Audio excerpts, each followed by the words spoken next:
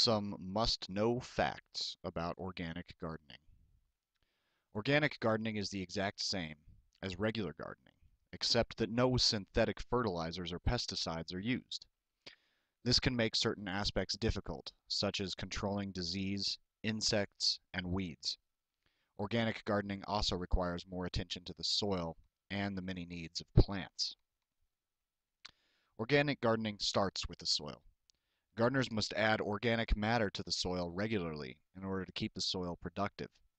In fact, compost is essential to the healthiness and well-being of plants grown organically. Compost can be made from leaves, dead flowers, vegetable scraps, fruit rinds, grass clippings, manure, and many other things. The ideal soil has a dark color, sweet smell, and is full of earthworms. Some soil may need some natural additives, uh, more natural additives than regular compost can give, such as bone meal, rock phosphate, or green sand. A simple soil test will tell you the pH balance and which nutrients you will need to use.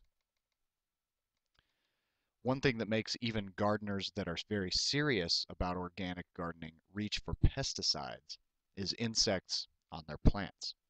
The best way to defend plants against insects is to take preventative measures. One thing that can be done is to make sure plants are healthy and not too wet or dry, because insects usually attack unhealthy plants, and if healthy, they can often outgrow minor insect damage. A variety of plant types is a good idea to keep pests of a particular plant type from taking out the entire garden. Perhaps the best way to defend against insects is to make your garden enticing to insect predators such as ladybugs, birds, frogs, and lizards. You can do this by keeping a water source nearby or by growing plants that attract insects who feed on nectar. Other ideas are sticky traps, barriers, and plant collars. There are some household items that prevent against insects too, like insecticidal soaps, garlic, and hot pepper. To avoid plant disease in organic gardening, Choose disease-resistant plants and plant them in their prime conditions. Many diseases will spread because of constant moisture and bad air circulation, so the site of your garden and the way it is watered can help ensure against diseases. Weeds can be an annoying and frustrating part of organic gardening.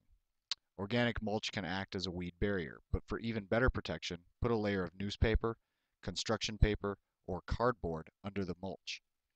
Cornmeal gluten will slow the growth of weeds if spread early in the season before planting, as does solarization. There's also the old-fashioned art of hoeing and hand pulling that always works. Your best bet in weed prevention is persistence. Mulch well and pull and hoe what you can. After a few seasons, you can beat the weeds for good. Organic gardening is an excellent way to assure that your plants will be free and clear of all pesticides and, if taken care of properly, will be as healthy as possible.